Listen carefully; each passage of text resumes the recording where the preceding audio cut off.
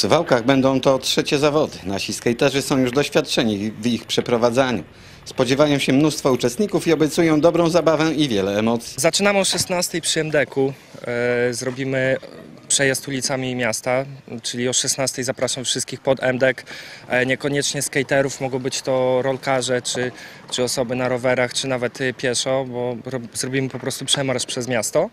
E, I mniej więcej o 16.20 ruszymy e, pierwszą ulicą, czyli Noniewicza w stronę chłodno, chłodnej. E, Potem przez chłodną przejdziemy, no i Kościuszki prosto ulicą dojdziemy do skateparku. Tutaj nad zalewem od godziny 17 rozpoczną się emocje związane z zawodami skateboardowymi, rozgrywanymi w trzech konkurencjach. Na początek przeprowadzane w systemie pucharowym Game of Skate. Uczestniczą dwie osoby. Y, jed- Jeden zawodnik pokazuje trik, y, potem następna osoba musi powtórzyć y, ten trik. Jeśli mu się nie uda, no to zbiera wtedy li, literkę po kolei y, do pięciu literek, czyli syk, a, ty, e, do skata. Przegrywający odpada i tak aż do wielkiego finału. Kolejną konkurencją będzie przejazd przez wszystkie przeszkody, elementy skateparku. Mamy cały skatepark do jazdy w tej konkurencji. Y, Myślę, że cza, czas jest ograniczony ty, na te przejazdy. Nie wiem jeszcze dokładnie ile, ale to już będzie na miejscu wiadomo. Ostatnią bardzo widowiskową konkurencją będzie Best Trick. Jak sama nazwa wskazuje, jest to najlepszy trik, czyli wszyscy skaterzy mają do dyspozycji albo cały skatepark, albo konkretną przeszkodę, to już e, ustalą, e, ustali jury.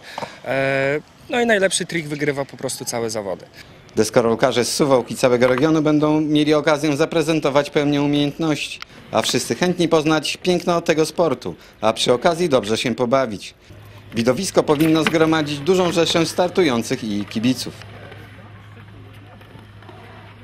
Poprzednia impreza pokazała, no przewinęło się 500 ludzi e, na tamtej imprezie, więc dosyć spore e, zainteresowanie było. E, Również widziałem na przykład rodziców przychodzili z dziećmi, całe rodziny przychodziły, patrzyły się, bawiły, także myślę, że coś, jest to coś w stylu festynu, bo DJ Barszczu, na- nasz, nasz przyjaciel, będzie grał na gramofonach, będzie muzyka, będziemy mieli dwa mikrofony, ja będę razem z kolegą Musem prowadzić tę imprezę, także myślę, że będzie dosyć ciekawie.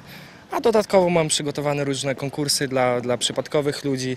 E, Będzie troszkę humoru, troszkę zabawy, także naprawdę serdecznie zapraszam. Nagrody dla zawodników i widzów ufundowali liczni sponsorzy. Czwartkowe święto deskorolkarzy w skateparku potrwa do godziny 22.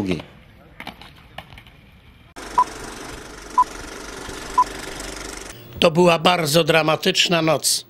W niedalekim Okuniowcu doszło do tragedii. Zgłoszenie do nas wpłynęło w niedzielę w nocy o godzinie drugiej z minutami, że pali się budynek drewniany. Na miejsce tego pożaru udało się pięć samochodów ratowniczo-gaśniczych, trzy z Państwowej Straży Pożarnej z Suwałk oraz dwa z Ochotniczych Straży Pożarnych y, z Potaszni i z Nowej y, Wsi. Gdy strażacy dojechali na miejsce y, tego zdarzenia, zauważyli, że połowa budynku jest w ogniu oraz cały dach e, jest objęty pożarem. Do części domu, gdzie jeszcze nie dotarł ogień, natychmiast weszli strażacy, penetrując pomieszczenia. Strażacy weszli tam do środka, do pomieszczenia w aparatach ochrony dróg oddechowych przy wykorzystaniu jednego prądu gaśniczego i na podłodze znaleźli ciało mężczyznę w wieku około 30 lat. Tego mężczyznę szybko ewakuowali na zewnątrz i przystąpili do czynności reanimacyjnych. Stwierdzono najpierw brak yy, funkcji życiowych, brak oddechu oraz tętna. W międzyczasie strażacy powiadomili pogotowie ratunkowe i prowadzili czynności reanimacyjne. Gdy przyjechało pogotowie, przejęło dalszą część reanimacji i po około pół godzinie, no niestety lekarz stwierdził zgon tego mężczyzny. Tej zimy pierwszy tak tragiczny pożar, niemniej jednak też trzeba podkreślić, że tej nocy na zewnątrz temperatura wynosiła minus 5 stopni. Być może, może urządzenia grzewcze mogły być tutaj przyczyną y, tego pożaru. Niemniej jednak y, na tą chwilę e, przyczyna pożaru nie jest znana, nie została ustalona przez e, strażaków. Są prowadzone czynności dochodzeniowo-śledcze przez e, policję i, i, i wyjaśniane są okoliczności tego e, bardzo tragicznego e, pożaru. Strażacy ocenili straty na około 30 tysięcy złotych.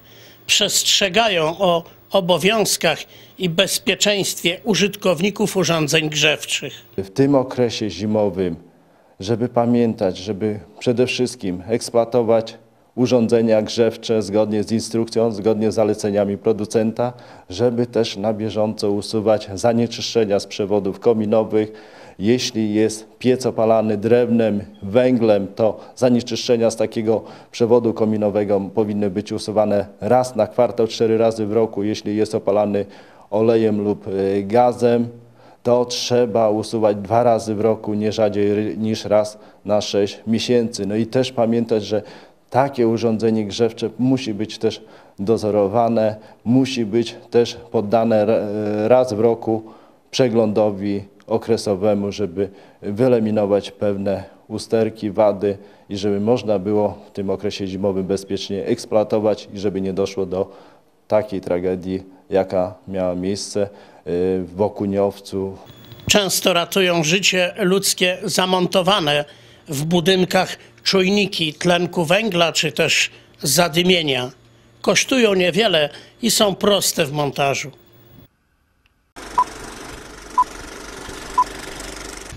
Polska część Rail Baltiki ma powstawać etapami do 2030 roku, ale są nadzieje, że dzięki pieniądzom z Unii Europejskiej termin ten będzie przyspieszony. Już w przyszłym roku rozpocząć się mają zaplanowane na dwa lata prace na odcinku od Suwałk do granicy z Litwą.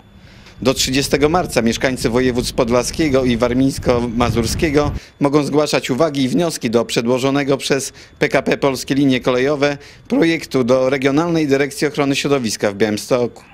Prawo ich przekazywania w formie pisemnej czy też pocztą elektroniczną ma każdy. W połowie tego roku ma być wydany najważniejszy na tym etapie dokument decyzja środowiskowa określająca przebieg trasy, zagrożenia dla przyrody czy zdrowia ludzi.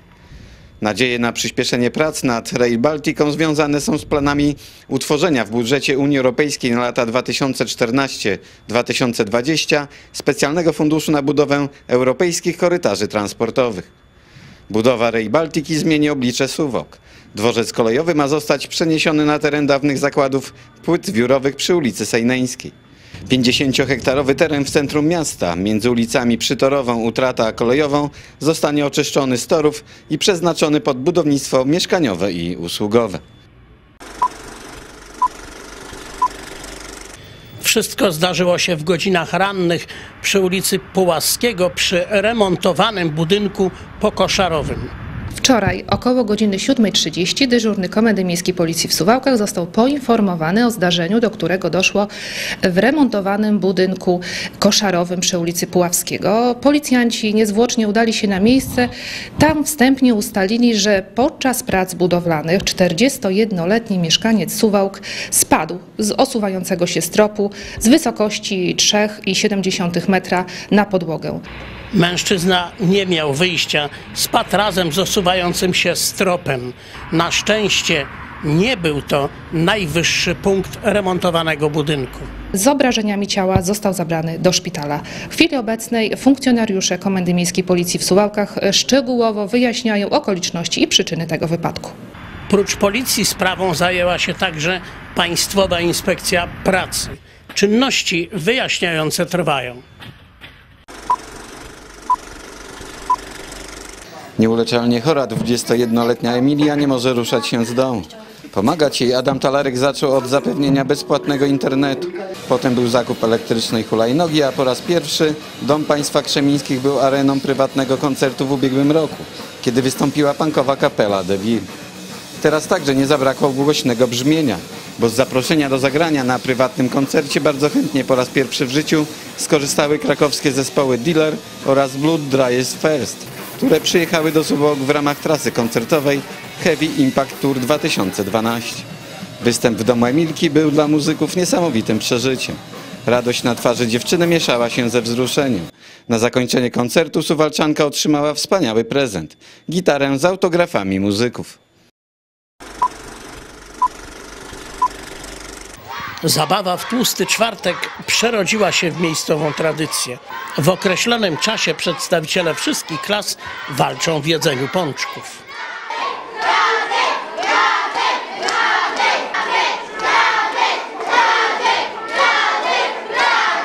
Po raz szósty nasza szkoła organizuje mistrzostwa w jedzeniu pączków i ciasteczek na czas. Oczywiście na co dzień propagujemy zdrowe odżywianie, ale raz do roku podtrzymując polską tradycję obchodzimy tłusty czwartek organizując mistrzostwa. Uczniowie bardzo chętnie biorą w nich udział. Wszyscy wspaniale się bawimy. Zawodnicy przygotowują się od kilkunastu dni. Mają pisemną zgodę od swoich rodziców na start. Nawet wśród koleżanek i kolegów mają własnych trenerów. W jedzeniu ciasteczek z bitą śmietaną zwyciężyła Sandra Pietkiewicz. Się nie przygotowywałam, ale to już jest któryś raz pod rząd, no i jakoś, no właśnie, mam doświadczenie. A lubisz ciastka? No lubię. Tak? A to nie będzie tak, że po dzisiejszym dniu przestaniesz je lubić? Nie. Nie, będziesz lubić dalej, tak? W jedzeniu pączków po dogrywce zwyciężył Radosław Murawko. W nagrodę też były pączki. Gratulacje, proszę. Tutaj oczywiście na, nagroda, na którą Radek się nie może doczekać, to jest 30 pączków dla klasy. Tutaj. Proszę bardzo. Oczywiście prosimy tutaj taki malutki też od naszego sponsora głównego i główna nagroda, proszę bardzo, także Ła? Radek, ty startowałeś w tamtym roku? Nie, w tamtym roku nie. Pierwszy raz to tak się. A to jakieś takie tradycje rodzinne u was? A ile zjadłeś w tym roku? W tym roku nie, nie liczyłem teraz. Nie liczyłeś? Ile pan? O, 8, 9, 9, 9. Dziewięć, bo dziewiąty był na czas. Tak, tak, Pierwszy raz. Zabawa jak zwykle doskonała, słodka i wesoła. A pączków nie zabrakło dla nikogo.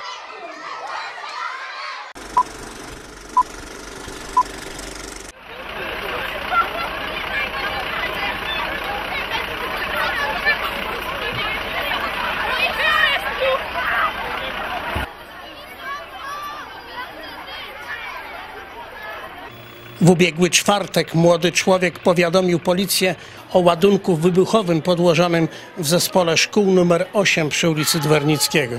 Dowiedzieliśmy się e, od panów policjantów, którzy około godziny dziewiątej przyjechali do szkoły we dwóch z taką informacją, że były dwa telefony. Jeden telefon o podłożeniu bomby, a drugi telefon, że to tylko tak zadzwoniono dla żartu. E, Powiem szczerze, no taka, przed taką trudną decyzją e, stanęliśmy, jakie podjąć działanie, jakie czynności e, zrobić. Jest godzina czwartek, godzina dziewiąta rano, szóstoklasiści piszą test.